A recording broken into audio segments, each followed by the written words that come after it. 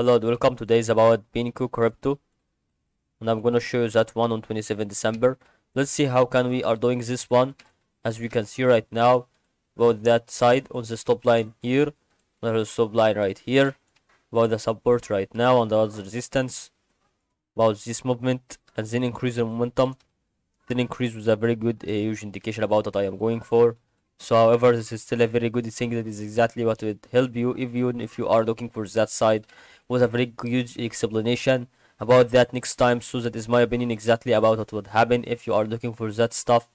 with a very huge indication about after mega bump it's not as on a strong support around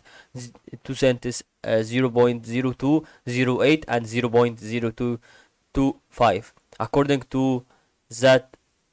it must break according to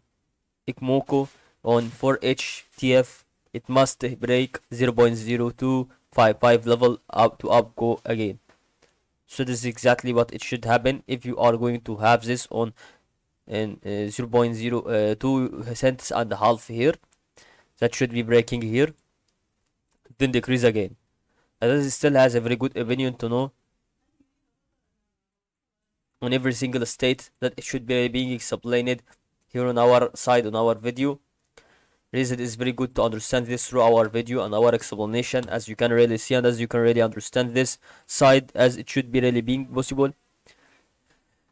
For every single side that I am already going on through every single uh, side that is proceeding that one I still have very good explanation on every single data that I am really going on through that side